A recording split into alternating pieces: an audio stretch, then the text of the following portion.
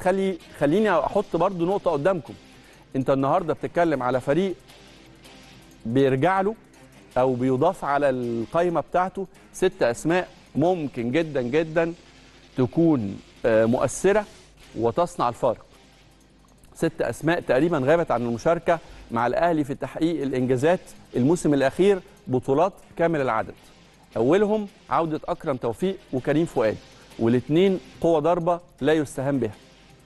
كريم ندفد وصلاح محسن من الممكن جدا. أعتقد إن هم فنشوا الموسم بشكل جيد جدا. أتمنى إنه مع كولر يعيد اكتشافهم مرة تانية. الاثنين عندهم إمكانيات واعدة جدا والاثنين عندهم مقاومات إن هم يكونوا لعيبة في النادي الأهلي ده مفيش شك فيه.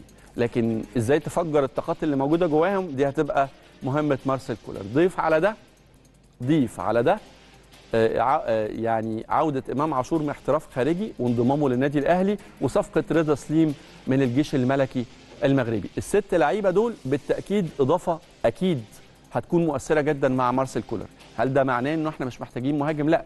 أنا بشوف إن الأهلي محتاج اتنين مهاجمين مش مهاجم واحد في موسم هيكون صعب جدا وشاق جدا مع الأخذ في الاعتبار واحد.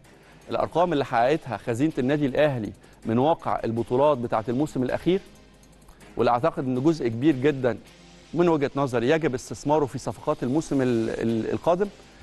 مع الأخذ في الاعتبار إنه صفقة رضا سليم وإمام عاشور ما كلفوش خزينة النادي الأهلي كتير.